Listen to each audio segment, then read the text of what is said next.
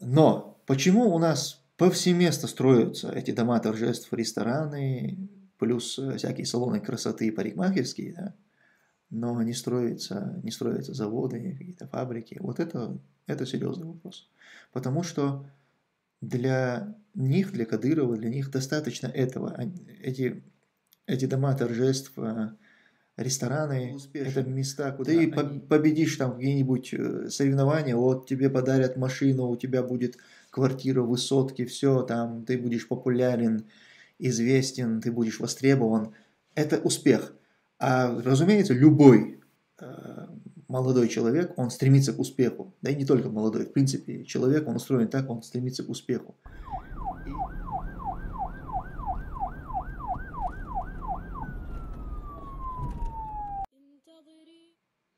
Почему в Чечне строятся парки, а не заводы, фабрики? А, я бы вопросы с парками, их бы проводил бы, значит, сравнение, аналогию не с заводами. Это немножко неправильно, потому что парки, они не, не дают какой-либо вообще, ну, это не промышленность, да. А парки, они, в принципе, вот парки надо, наверное, проводить аналогию. Почему парк, а не там, жилой комплекс? Допустим, вот так надо ставить. Вот лучше, чем парк здесь, лучше бы построили бы, например, там, несколько многоэтажных домов. Или наоборот, чем вот эти вот несколько многоэтажных домов, лучше бы здесь построили бы парк или сквер. В этом ключе должен проходить спор. А вот э, заводами здесь правильнее будет спросить, почему строятся рестораны, какие-то дома торжеств повсеместно. У нас они раскинуты там, по, всей, э, по всему городу. Ну и по, по таким нашим крупным городам. Это... Надо сказать вообще, что у нас чеченцы, в принципе, преуспели в этом бизнесе. Я хочу отметить. Сейчас вот по, поездив по, по странам Европы, я респектую чеченцам, рестораторам. Реально у нас в Чечне очень крутые рестораны. Да, в Европе нет ничего подобного. Я отвечаю.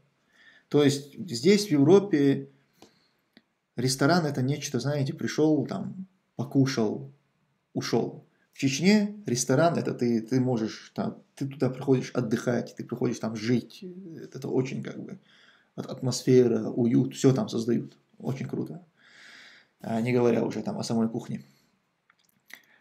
Но почему у нас повсеместно строятся эти дома торжеств, рестораны, плюс всякие салоны красоты и парикмахерские, да? но не строятся, не строятся заводы, какие-то фабрики. Вот это, это серьезный вопрос. Потому что для них, для Кадырова, для них достаточно этого.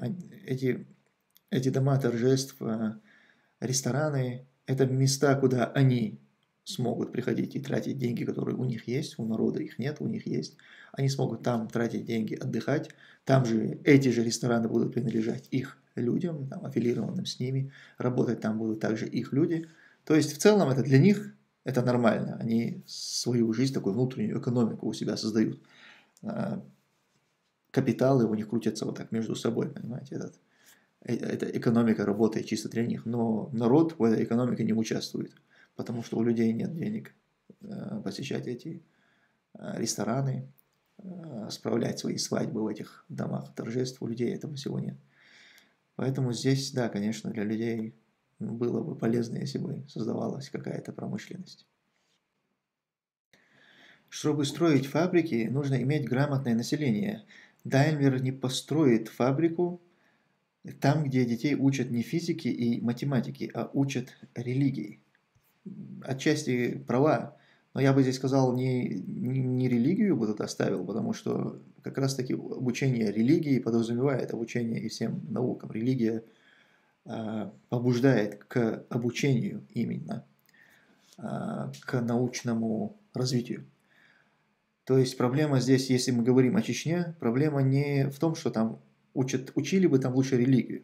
В Чечне сейчас проблема в том, что религии не учат вообще, нет правильных знаний, не дают правильные убеждения. Если бы в Чечне учили религии, то молодежь Чечни, она бы сейчас не стремилась выступать в ММА, не в спортзалах, где-то э, повсеместно все сидели бы, мечтая побить там рекорд э, Хабиба Нурмагомедова или еще там кого-то. А они бы как раз-таки изучали бы физику, математику, астрономию, астрофизику, высокие технологии там, и так далее, развивались бы в этом направлении. То есть отчасти, конечно, было правильно, но здесь чувствуется некая исламофобия, то есть у, у людей все завязано с, с ненавистью к исламу, типа вот там религия, дело, как раз таки проблема в отсутствии там религии, в обучении, отсутствии обучения религии. Из-за того, что там в Чечне а, навязывается культ силы, культ вот этого ММА, то есть вот если ты боец, то ты успешен, ты победишь там где-нибудь э, соревнования, вот тебе подарят машину, у тебя будет квартира, высотки, все, там ты будешь популярен, известен, ты будешь востребован.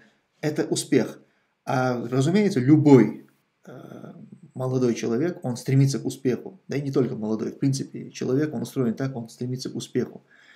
И пока ты не сделаешь так, что знание – это успех, что ты, значит, что-то создал там какую-нибудь, я не знаю, защитил там какую-нибудь теорию или выиграл какую-то олимпиаду по математике и так далее, вот тебе машина, квартира, вот за знание тебя поощряют, пока вот это э, не, не появится, и это не значит, что мы не должны как бы спорт поощрять, да, пожалуйста, спорт тоже поощряй, но делай это параллельно, а не, не отдельно, не выделяя именно спорт. Вот тогда будет, будут люди, будет знание. Вот. Но еще и вопрос промышленности, он все-таки не обязательно завязан на, а, на вот эту науку, о которой мы говорим.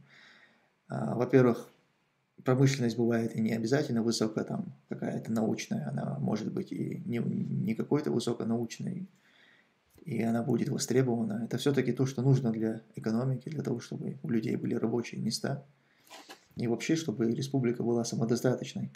Я думаю, Кремль целенаправленно поощряет эту политику, а где-то, может быть, даже препятствует строительству промышленности, чтобы республики Северного Кавказа были постоянно зависимы от дотаций.